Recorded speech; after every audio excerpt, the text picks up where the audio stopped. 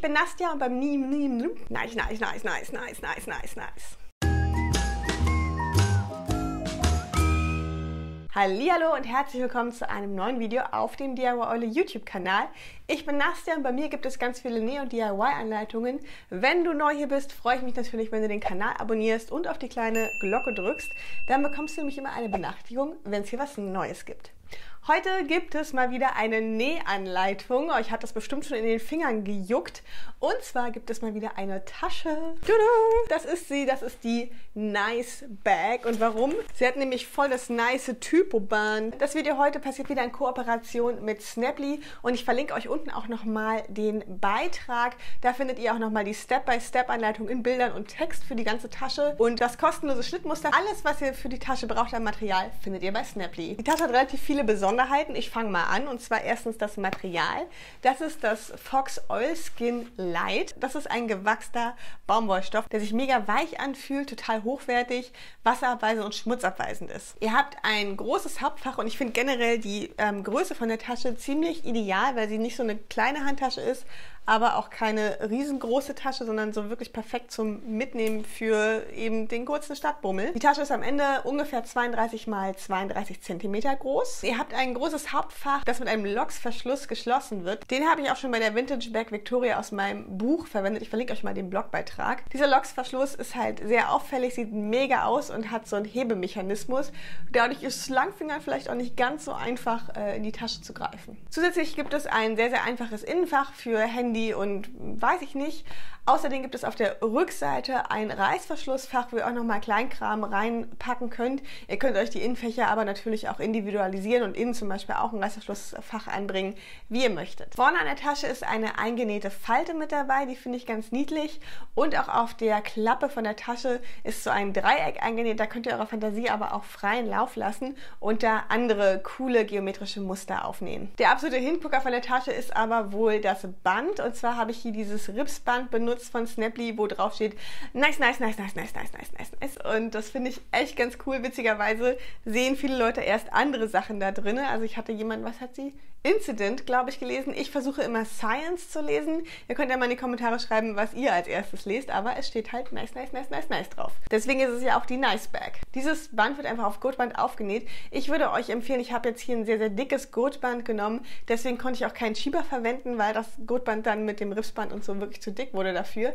Wenn ihr einen Schieber verwenden wollt und das Ganze verstellbar machen wollt, nehmt ein dünneres Gurtband, weil natürlich die Maschine auch beim Zusammennähen von drei Lagen Gurtband irgendwann Probleme kriegt kriegt. Bei mir ging es gerade noch so, testet das am besten vorher, ob eure Maschine drei Lagen Gurtband schafft. So, und gleich nochmal ein paar Materialtipps vorweg. Oilskin ist wie gesagt eine beschichtete Baumwolle und das ist die Light-Variante, die ist mit einem extra leichten Wachs beschichtet. Es gibt auch nochmal die Heavy-Variante. Der Stoff bekommt nach einer Weile so einen speziellen Used-Look, was halt so typisch ist für dieses Oilskin. Ihr kennt bestimmt diese Parker aus diesem Wachstuch, also wirklich Wachs. Wenn man das so knickt, das sieht man so ein bisschen, das sieht man bei den Taschen jetzt nicht so da, eben weil es die Light-Variante ist, aber nach einer Weile bekommt ihr so griffige Spuren und ich mag das total. Aber das müsst ihr natürlich wissen und wollen und mögen.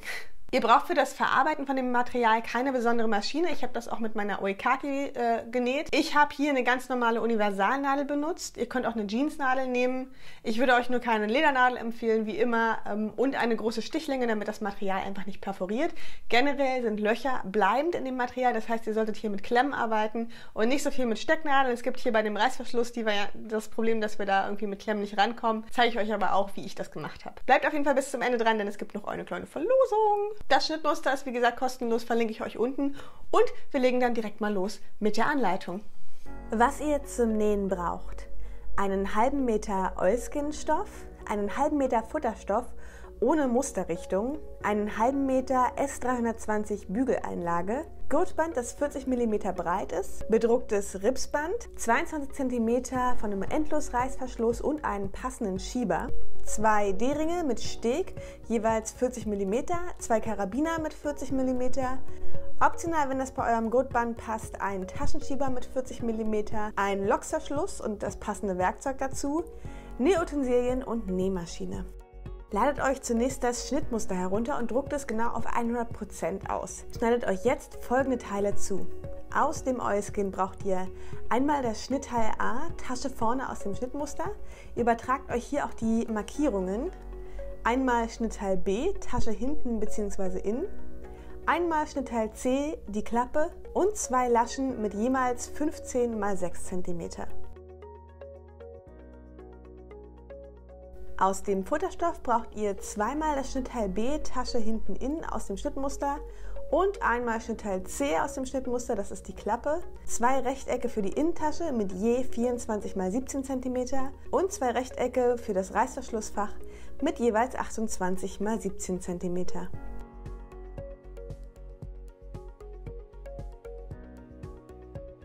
Aus der Einlage braucht ihr auch zweimal das Schnittteil B und einmal das Schnittteil C, die Klappe. Kleiner Tipp an dieser Stelle, damit ihr jeweils mit einem halben Meter Stoff gut hinkommt, schneidet alle Teile 90 Grad gedreht zum Fadenlauf zu. Bügelt zuerst die Fließeinlage auf die entsprechenden Teile aus dem Futterstoff. Bügelt auch die anderen Futterstoffteile in Form.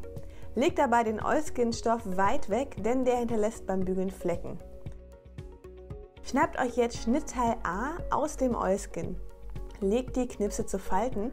Dafür führt ihr jeweils einen äußeren Knips zum mittleren Knips und die obere Kante liegt dabei bündig. Steckt dies mit Klemmen und wiederholt das Ganze auch auf der anderen Seite, sodass ihr so eine schöne dreieckige Falte bekommt. Näht jetzt nah an der Kante im Bereich der Falte knappkantig entlang, um diese zu fixieren.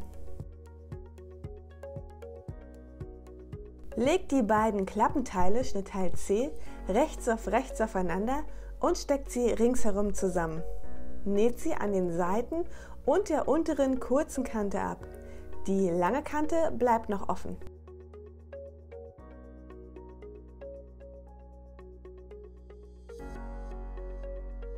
Schneidet die Nahtzugabe an den Ecken zurück und wendet die Klappe. Steppt die Klappe anschließend ringsherum knappkantig ab, außer an der offenen Kante. Markiert euch von der unteren Kante der Klappe die Mitte und zieht hier je eine Linie zu den oberen beiden Ecken. Ich habe zwischen den Schrägen noch eine Parallele zur unteren Kante gezogen mit einem Abstand von 8 cm. Ihr könnt hier aber auch eurer Fantasie einfach freien Lauf lassen. Steppt dann das Muster nochmal nach.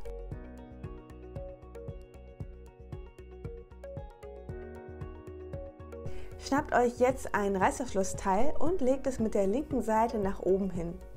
Zeichnet eine Linie 3 cm von der oberen Kante entfernt, die 20 cm lang ist. 1 cm unter diese Linie kommt eine weitere Linie. Schließt die beiden kurzen Kanten zu einem Rechteck. Zieht anschließend mittig eine Linie, die zu beiden Linien einen Abstand von 0,5 cm hat zeichnet von den Ecken jeweils kleine Schrägen zu dieser Mittellinie an. Legt dieses Reißverschlussteil rechts auf rechts auf das hintere Taschenteil aus Oilskin. Es liegt 4 cm von der oberen Kante entfernt und zu den Seiten mittig. Näht nun einmal um das äußere gezeichnete Rechteck drumherum und verbindet so die beiden Stofflagen.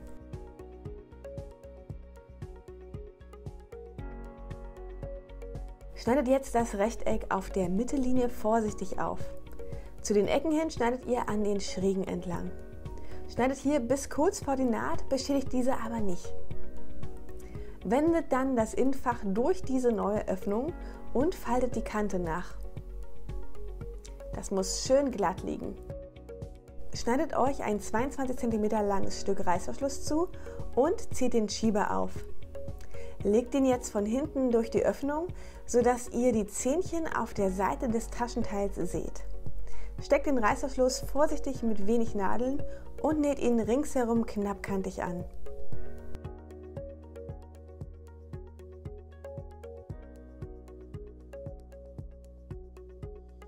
Dreht das Teil um und legt das zweite Reißverschlussfachteil rechts auf rechts auf das angenähte. Steckt es ringsherum und näht die beiden Fächer ringsherum zusammen. Achtet darauf, dabei nicht durch den Oilskin zu nähen, sondern nur durch die beiden Fächer.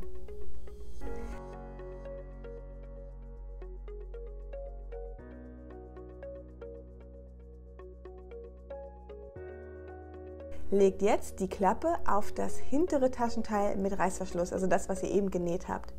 Die beiden Euskin-Seiten liegen rechts auf rechts aufeinander.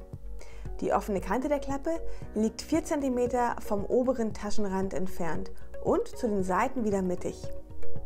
Näht die Klappe knappkantig an.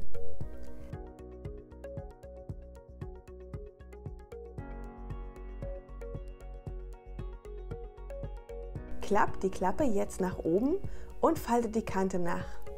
Steppt hier auf der Klappe nochmal 1 cm von der umgefalteten Kante entfernt ab. Jetzt bereiten wir die Innentasche vor. Legt die beiden Schnittteile für das Innenfach rechts auf rechts aufeinander. Näht einmal ringsherum und lasst an einer langen Seite eine Wendeöffnung offen.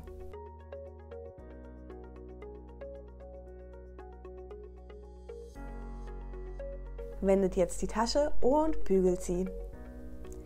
Legt das Innenfach mit der Wendeöffnung nach unten auf die rechte Seite eines Futtertaschenteils. Positioniert es mittig. Meins liegt etwa 5 cm vom oberen Rand entfernt. Wenn ihr möchtet, könnt ihr euch noch eine Unterteilung anzeichnen. Näht die Tasche an den Seiten und unten knappkantig an und steppt die Unterteilung ab.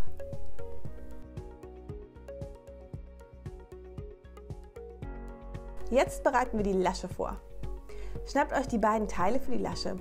Faltet sie jeweils mittig und faltet dann nochmal die beiden Seiten ein, so dass das Stück weiterhin 6 cm breit ist. Es wird quasi wie ein Schrägband gefaltet. Näht die offene, gefaltete Kante knappkantig ab.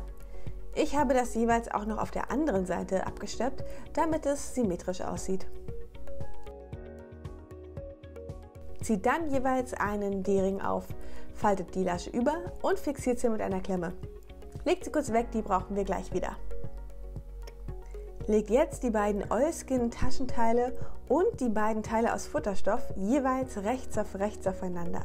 Näht hier dann jeweils die beiden Seitenkanten und die Bodenkante ab. Die Ecken bleiben noch offen. Lasst im Futter am Boden eine Wendeöffnung.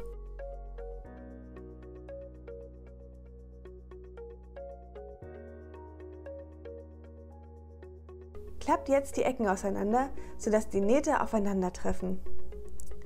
Näht dann alle Ecken ab.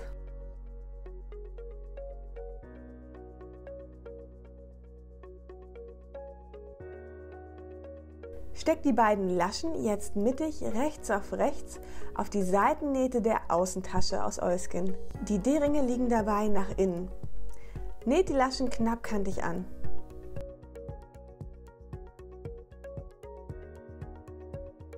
Wendet jetzt das Futter auf rechts und steckt es in den Außenbeutel. Die rechten Seiten schauen sich an. Steckt die Seitennähte genau aufeinander und anschließend die komplette obere Kante. Näht hier einmal komplett drumherum.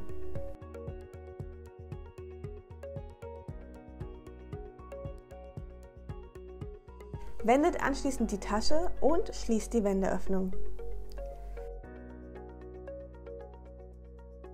Steppt jetzt noch einmal den oberen Rand der Tasche ringsherum ab.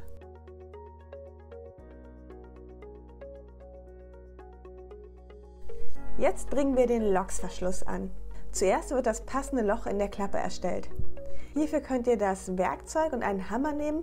Ich nehme immer ganz gerne die Vario-Zange und die 11 mm Lochaufsätze, die eigentlich für die Ösen gedacht sind. Dreht dann den oberen Teil des Verschlusses ein. Dafür gibt es dann einen extra Schraubendreher. Übertragt euch die Position vom oberen Teil des Loksverschlusses auf den unteren Teil der Tasche und bringt hier entsprechend die Gegenseite an.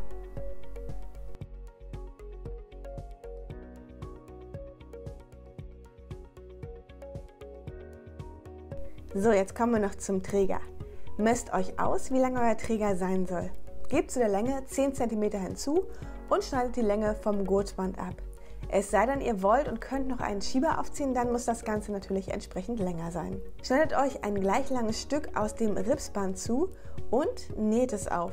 Ich nähe hier links und rechts entlang der schwarzen Streifen auf dem Muster.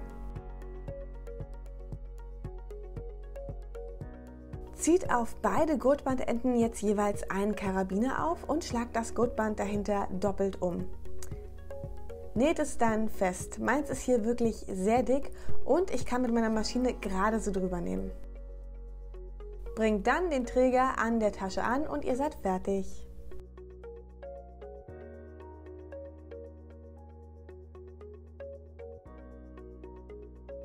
So, ich hoffe, die Anleitung hat euch gefallen. Ich finde die Tasche mega cool und freue mich auf jeden Fall, sie auszuführen. Ich habe zwei Farbkombinationen genäht.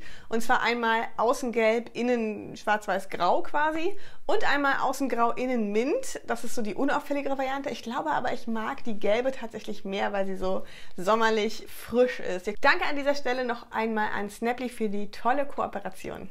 Und jetzt kommen wir noch zur Verlosung. Ich verlose zwei Snaply-Gutscheine a 25 Euro an euch. Und alles, was ihr tun müsst, ist in die Kommentare zu schreiben, in welcher Farbe ihr denn die Nicebag nähen würdet. Zeit habt ihr immer drei Tage und alle Infos findet ihr auch nochmal in der Infobox. Ich freue mich auf jeden Fall, wenn ihr die Tasche nachnäht und unter dem Hashtag Nicebag auf Instagram teilt. Ihr freut uns natürlich auch, wenn ihr Snaply und mich vertagt. Und dann ganz viel Spaß beim Nähen. Wir sehen uns nächste Woche wieder hier. Gleiche Stelle, gleiche Welle. Dienstag 12 Uhr. Bis dahin, habt eine kreative Zeit. Tschüss.